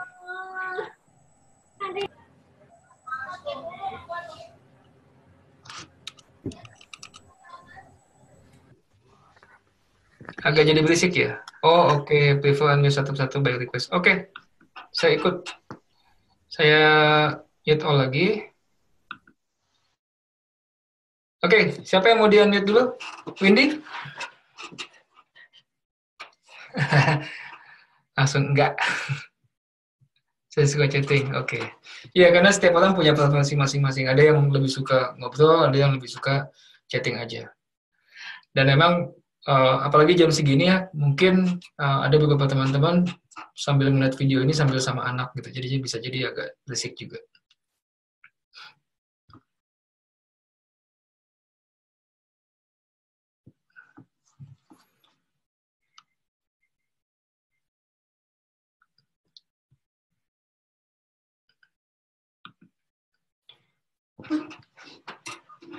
Kuis itu sudah menggambarkan ujian PMP-nya ya Pak? Uh, Pak Wisnu, pertanyaan yang bagus. Yang di kuis, yang kuis ya, yang kuis per session, itu jauh dari ujian. Jauh dari ujian. Itu contoh uh, penyusunan kalimatnya itu direct question. Sedangkan di ujian PMP nggak seperti itu. Kalau uh, teman-teman mau lihat mana sih yang paling mendekati ujian PMP, uh, silakan ambil yang gratis yang 25 free PMP exam itu atau yang PMP exam simulation yang 200 soal yang ada di dalam uh, website juga. Itu yang 200 soal itu kita bikinnya sudah mendekati menurut kami itu sudah itu yang paling mendekati ujian PMP dalam konteks penyusunan kalimat dan uh, kesulitan level kesulitan soalnya. Daripada ini, better pelajarin PMBOK lebih detail dan referensi lainnya atau pembanyak latihan soal. Ini uh, akan ini sebenarnya akan saya bahas nanti di tips dan trik soal uh, ujian PMP lainnya uh, lebih sendiri, tapi saya akan bahas di sini juga. Kalau saya pribadi, saya lebih suka belajarnya dari latihan soal. Saya ngerjakan 50 50 soal. Kalau ada yang nggak ngerti, saya langsung buka buku Oke, okay? kalau saya ada yang salah, saya langsung lihat referensi, baik itu PMBOK ataupun buku. Kenapa saya bisa salah di sini? Itu gayanya saya. Ada beberapa teman yang lain yang lebih prefer baca buku dulu baru ngejain soal. Soal-soalnya dari ujian PMI sebelumnya atau dari mana Pak resource-nya? Soal-soalnya tidak, PMI tidak pernah membuka soal-soal sebelumnya. Itu nggak pernah. Oke, okay? soal-soal yang ada di dalam buku ataupun yang kami buat yang ada di dalam website kami itu adalah soal-soal uh, apa namanya development kami yang kami rasa paling mendekati real examnya. Uh, Pak Fauzi udah ketemu Pak Hendro dan kamu kelas ternyata judul sesi bisa diklik. Ya Pak. Sip. Pak Denis bisa menjawab ya. Jadi Soalnya dari ujian PMS sebelumnya enggak, enggak. Dan juga jangan percaya dengan DAM. Kalau ada exam DAM, PM, uh, PMP exam DAM di website, itu ngaco semua. Sertifikasi-sertifikasi yang yang kasarnya elit ya, seperti PMP, CISSP, yang lain-lain yang yang jumlah orangnya sedikit, uh, justru it, uh, apa namanya PMI itu punya punya punya kepentingan atau uh, untuk menjaga supaya soal ujiannya mereka itu tidak bocor. Jadi intinya jangan harap uh, teman-teman cari DAM di internet seperti kalau kita mau ujian PMA uh, Cisco ataupun Microsoft itu banyak DAM-nya oke. Okay.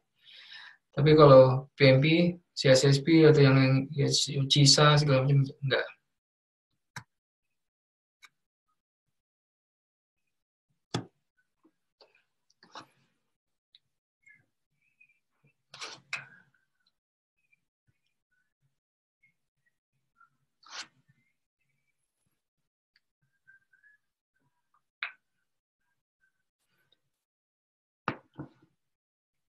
Oke, okay. Ada pertanyaan lain dari teman-teman?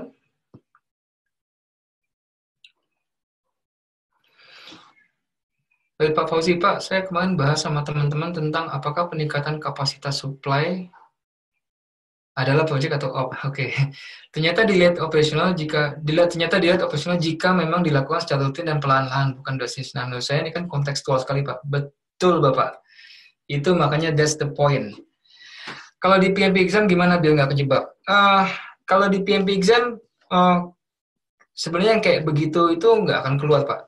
Itu kemarin konteks uh, exercise kita kemarin itu adalah lebih kepada uh, memberikan gambaran ke teman-teman semua peserta di sini bahwa bahkan pendefinisian mana yang project mana yang operations aja itu bisa sangat berbeda-beda. Oke, okay? yang menyebabkan nantinya implementasi di lapangan itu bisa juga sangat situational sekali. itu yang menarik tentang project management bagi saya itu yang menarik tentang project management. Karena semuanya situational. Nggak ada yang nggak ada yang oh pak kalau manage project itu harus A B C D udah pasti benar projectnya. Nggak. Semuanya situational. Nah jadi konteks kemarin exercise kemarin mana yang uh, apa namanya operation mana yang project itu nanti akan sangat clear kok akan gamblang kalau dibaca dengan baik agak gamblang oh ya uh, ini saya sedikit bahas saja, sambil mengisi waktu. Uh, pada saat dihadapkan pada empat pilihan A, B, C, D, lakukan proses elemen. Ada dua tahap, ada dua langkah yang Anda harus lakukan. Setiap melihat soal, ada dua langkah yang Anda harus lakukan. Pertama, lakukan eliminasi. Dari A, B, C, D, akan lebih mudah untuk mencari dua jawaban yang udah pasti salah ini mah. Lebih mudah, lebih gampang mencari jawaban yang salah dulu. Cari dua. Sudah begitu ketemu udah berarti kan sisa dua nih. Misalnya A, B, C, D, kita sudah yakin bahwa C, eh, Bravo dan Delta ini salah nih. Berarti sisanya adalah A dan C. Dari A dan C, nanti, ya, untuk menentukan mana jawaban yang benar, mana jawaban yang uh, apa namanya, uh, yang yang yang benar. Konteksnya ada gini. Don't try to find the correct answer, but try to find the best answer according to the context of the question. Jadi kalau di bahasa Indonesia kan, jangan mencari jawaban yang benar, tapi cari jawaban yang tepat sesuai dengan konteks soal. Karena akan besar kemungkinan teman-teman nanti ngelihat bahwa empat-empatnya bisa jadi benar semua kelihatannya. Kalau dari, dari dilihat dari correctness-nya, benarnya, koreknya, benar empat-empatnya bisa benar empat-empatnya bisa benar secara teori. Tapi kalau dilihat dari konteks soal, pasti akan ada salah satu jawaban dari empat ini yang paling tepat. Bukan yang paling benar, tapi yang paling tepat. Oke? Okay? Jadi saya remind lagi, don't try to find the correct answers, but try to find the best answers according to the context in the question.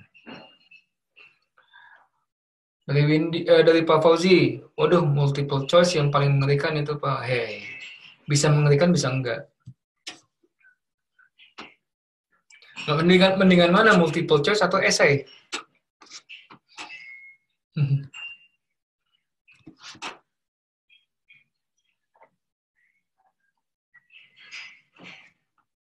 Mending esai tapi cuma lima.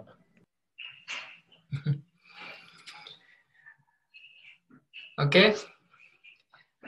Uh, eh, kalau tidak ada pertanyaan lagi, saya tutup dulu. Nih, Pak Meko, mending esai tapi cuma lima soal. Ha. Bisa, tapi esainya lima halaman gitu jawabannya. PR juga kalau lima halaman kan. Oke, okay. uh, kalau tidak ada pertanyaan lagi, nanti kita akan bahas lagi uh, tentang tips dan trik ini. Jangan khawatir, teman-teman. Uh, sepanjang session ini kita akan selalu bahas tentang tips dan trik. Bahkan nanti di luar session 13 ini, 13 session ini, saya akan ada video khusus membahas mengenai tips dan trik sebelum ujian dan saat ujian. Jadi jangan khawatir, uh, Anda akan dapatkan semua tips dan trik yang yang ada di luar, yang Anda butuhkan untuk menghadapi ujian PMP. Oke? Okay? Nah, uh, dari situ uh, saya sudahi dulu untuk malam ini. Terima kasih banyak atas partisipasi rekan-rekan semua. Uh, selamat malam. Semoga semuanya dalam kondisi baik-baik. Kalau yang mati lampu, semoga segera kembali nyala. Oke, semoga semuanya aman dengan keluarga masing-masing. Oke, terima kasih semuanya. Wassalamualaikum warahmatullahi wabarakatuh.